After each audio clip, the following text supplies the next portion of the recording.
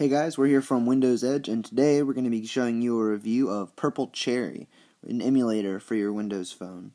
And as I was saying, Purple Cherry is an emulator of Game Boy Color games. For those of you familiar with emulators, you'll understand exactly what this is going to do. And for those of you who aren't, an emulator essentially allows you to play games from retro consoles such as the Game Boy Color, original Game Boy, Super Nintendo, original Nintendo, etc., etc. Essentially, it allows you to play these games without actually having to have the devices, which is a great and in this situation a very convenient thing to have.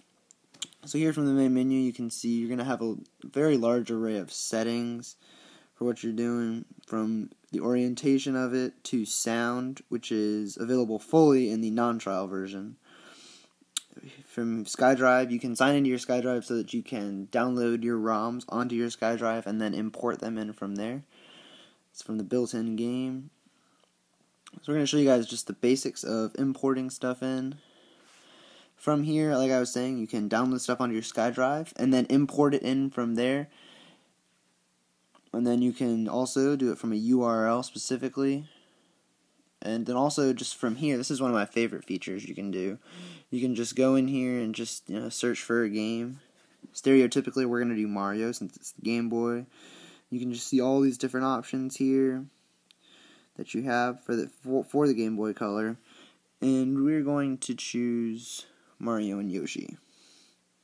So you can see all the information about the game here, size, ratings, and then ultimately down here you have the download now option.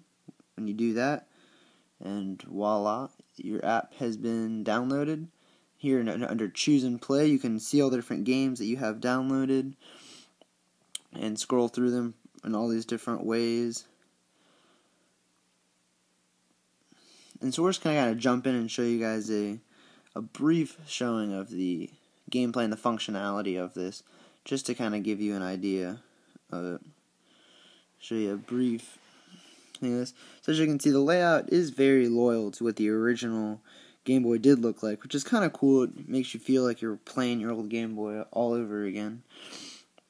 Uh, the buttons are very, they are very operational.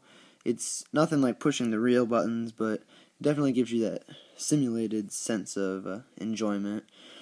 As you can see, I mean, they all, they all do work very well from there. There's no real problems. The only buttons I've had a few troubles with are pushing the start and select buttons, but those are minor issues and probably my own fault. So you can see the games do they run with a great frame rate. There's no real issues with that. And really, I mean, there's no complaints from you know, a game standpoint. I mean, these games weren't huge files, so it's imaginable that our new phones, almost 20 years later, can run them fairly well. Really shouldn't surprise you. But I mean, as you can see, it, all the buttons work really well. You also have the option from in here to push the reset button and it pulls up all this little stuff you can do. You can save your states, quit, reload, cancel. You can also just refresh from all this other stuff. It just gives you a good array of options. You can also back up all of your apps onto your SkyDrive. And then you can also use cheats from Game Genie or Game Shark if you guys find that kind of stuff to be fun, and you can also pin any of these to start.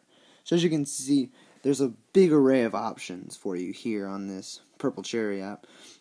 And the app is currently running for 129 in the App Store with a trial version available, but the trial version does not have a lot of the critical features of the app. So we'd encourage you guys to just get the regular version, support the developers and what they're doing to pull this here. And once again, it's only a dollar twenty-nine, and it brings you a good, accurate representation of uh, playing those old Game Boy Color games that we all loved. So we'd encourage you guys to get out there and get it, and keep an eye out for more content coming to you from Windows Edge. Thanks, guys.